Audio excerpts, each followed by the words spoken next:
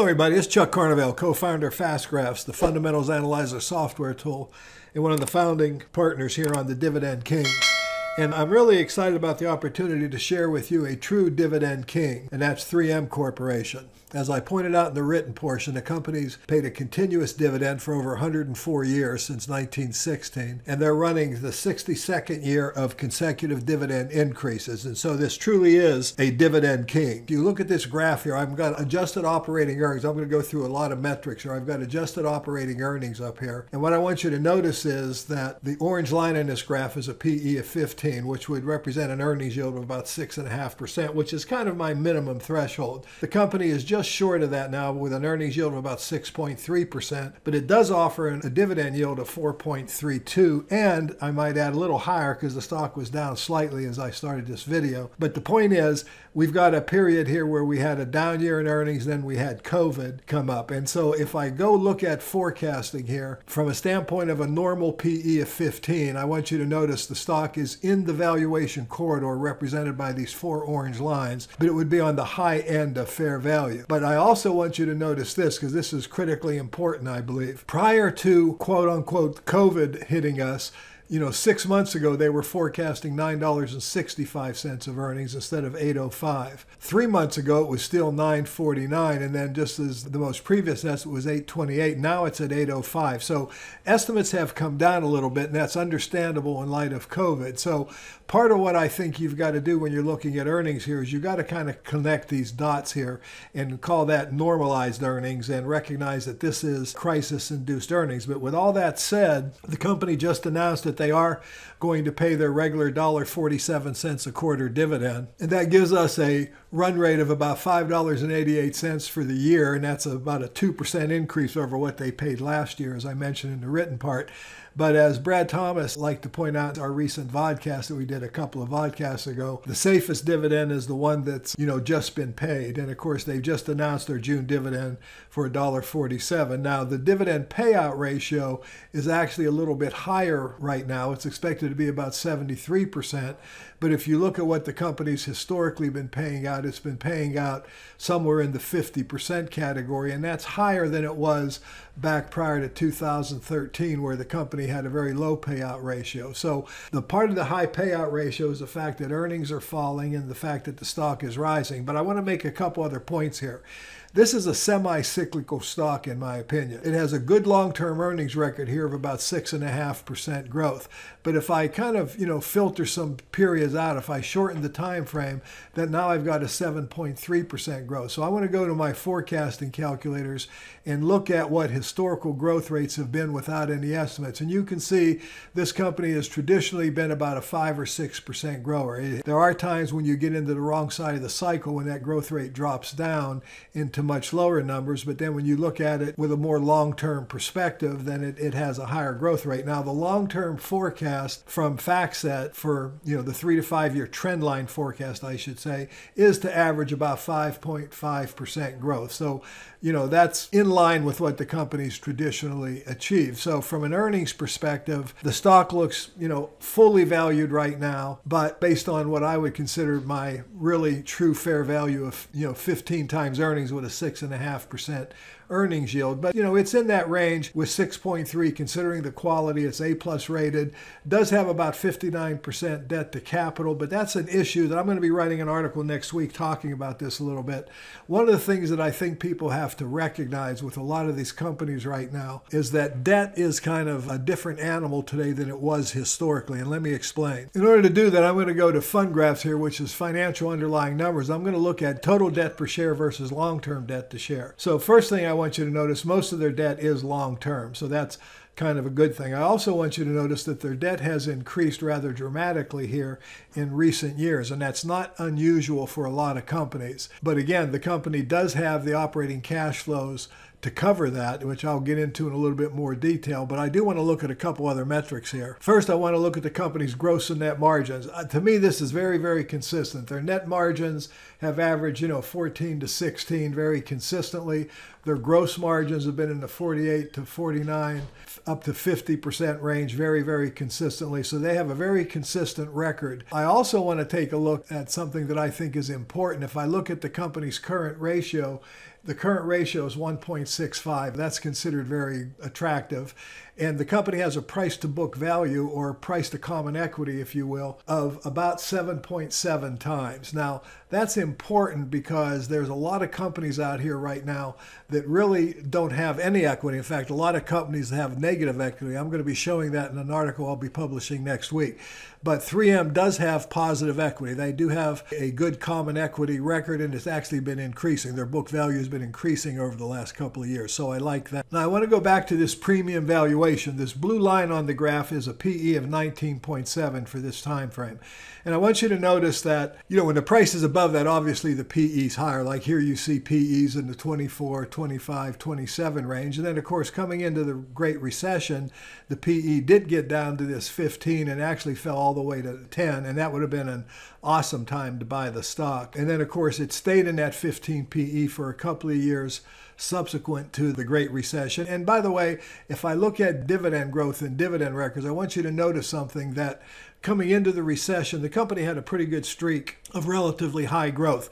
Their average dividend growth has been 9.4% for this 18 year period that I'm showing here. I reported 9% for the 19 year period in the written portion of the article. But I want you to notice that coming out of the recession, their dividend growth rate dropped to 2%, 2.9, and 4.8. But then as they kind of got away from the recession, you can see that they start getting much more generous with their dividend growth rate. Now we're in this COVID thing, and the growth is expected to be about 2% this year.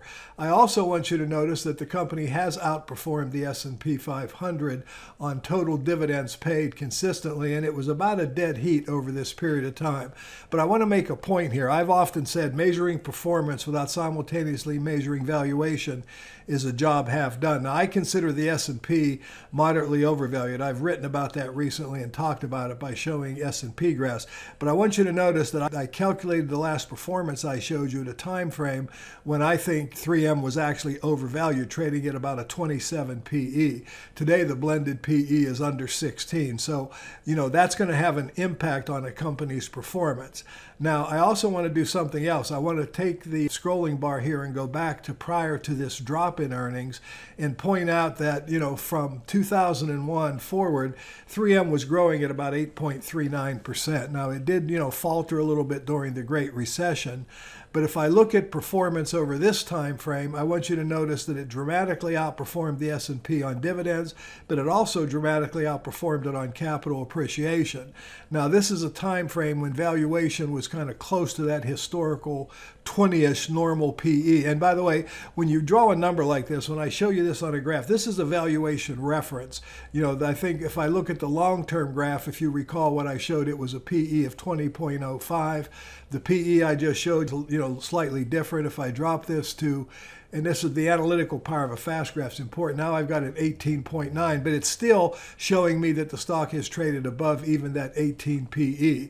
And the reason I bring this up, when I'm doing my forecasting here, I like to look at forecasts. If I'm looking at the stock being valued at around a 20 PE. Now I can actually pick a PE, so I'm going to pick as close to 20 as the historical numbers allow me here, that would be the 19 year graph at a PE of 20.05, because I always like to calculate what my return expectations. This could be a very attractive return opportunity if the stock, you know, the market does go back and start awarding it these higher 20 ish, 19 to 20 PE multiples that the market traditionally likes to apply to 3M.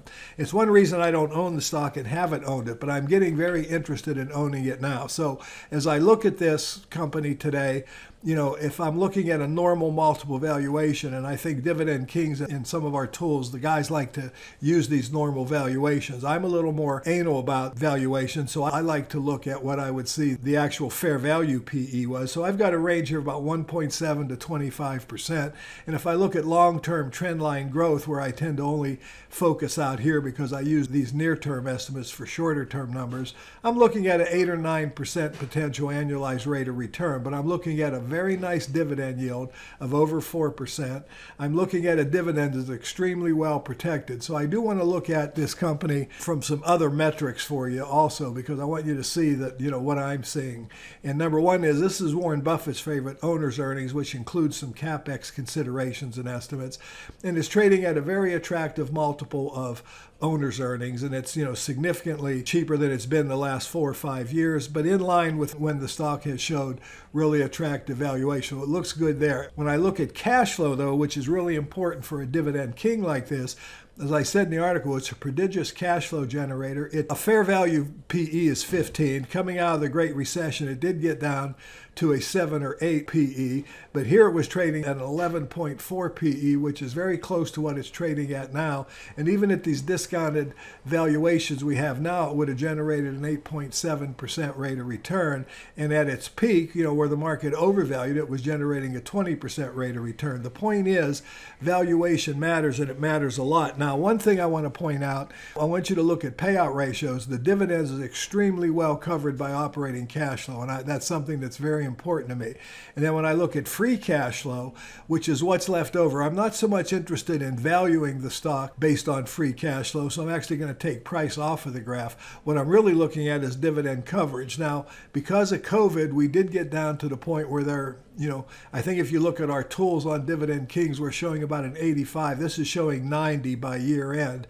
The current dividend, you know, free cash flow payout ratio is somewhere between 85 and 90, or I'll, I'll take it back here, it'd be between 62 and 67. But if I look at forecast, then the um, the dividend payout ratio for futures are going to drop to about 60% and then back down to 58%. So I do believe this company has a you know very attractive dividend that's extremely well covered even in light of this horrible virus so you know i believe this is a great company I think it's obviously a dividend king. It's something that's very important. It has such an impeccable long term dividend record. It's somewhat cyclical and it's not necessarily a great total return company, but you know, its total return has been comparable to the markets even over this long time frame.